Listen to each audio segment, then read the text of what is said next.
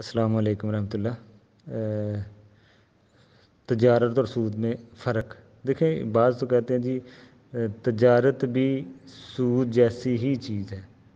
हालाँकि अल्लाह ने, अल्लाह ताला ने तजारत को हलाल किया और सूद को हराम, सूद बकरा तो ये जो लोग कहते हैं जी, सूदी तजारत नफ़ा एक ही जैसा कहते हैं तजारत जो नफ़ा, तजारत की जो नफ़ा है सूद भी एक जैसा है इनमें फ़र्क है। जैसे जो नफ़ा है ना, ताजर जो नफ़ा लेता है ना, वो ख़रीदे, ख़रीदार से अपने माल का मुआवजा लेता है। ये फ़र्क भी एक है, नफ़े में, तजारती नफ़े में।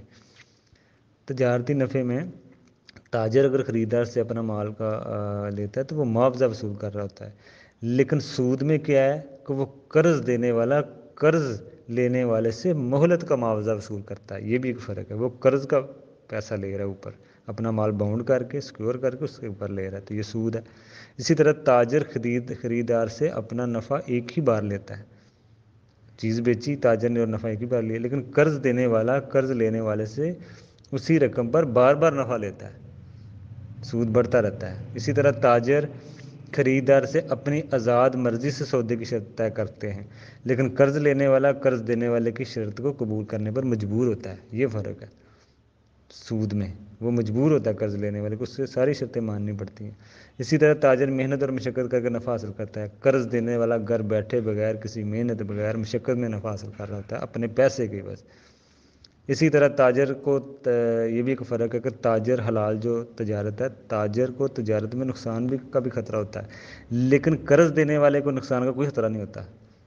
उसका माल सिक्योर सिक्योर है। ये भी एक इसमें पॉइंट है। इसी तरह तजारत में नफ़े की शरह नामूम होती है। कोई पता नहीं क्या नफ़ा होना भी है कि नहीं होना, लेकिन कर्ज़ देने वाले को तो नफ़े की शरह पहले से तय कर लेता है, पहले उसे पता होता है मुझे क्या बचना है तो ये फ़र्क भी है। इसी तरह ताजर और ख़रीदार अमूमन एक दूसरे को हमदर्दी और खैर ख्वाही करते हैं, ताजर और ख़रीदार, लेकिन कर्ज़ देने वाले को कर्ज़ लेने वाले से कतन कोई हमदर्दी नहीं होती, सिवाय अपने माली फ़ायदे के। तो ये फ़र्क आपने देख लिया इसी तरह तजारत का नफ़ा अलग चीज़ है और कर्ज़ ये बात बिल्कुल वाजह हुई इस मसले से, क्योंकि तजारत का नफ़ा अलग चीज़ है और कर्ज से हासिल होने वाली नफ़ा इससे ये सूद बिल्कुल सूद दूसरी चीज़ है। ये दूसरी चीज़ है। तो ये इसमें फ़र्क है। तजारती नफ़े को हलाल और कर्ज़ पर हासिल होने वाले नफ़े, ये सूद को हराम करार दिया है। तो ये इसमें मसला है। तजारत, नफ़ा और सूद पर जो नफ़ा है, ये एक जैसे नहीं है अलग अलग चीज़ें मैंने पीछे वजाहत कर दी है। असल